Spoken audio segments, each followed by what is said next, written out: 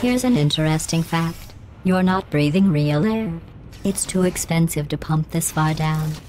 We just take carbon dioxide out of a room, freshen it up a little, and pump it back in.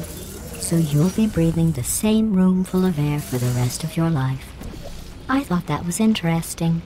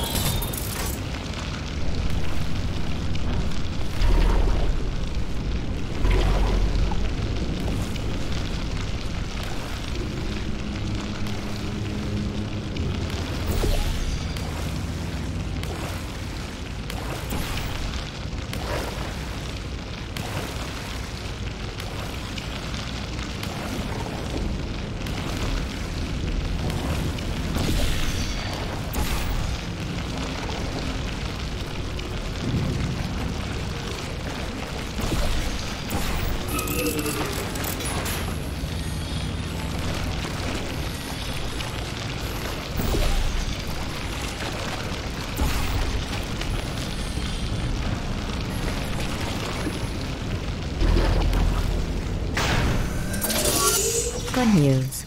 I figured out what to do with all the money I save recycling your one room full of air. When you die,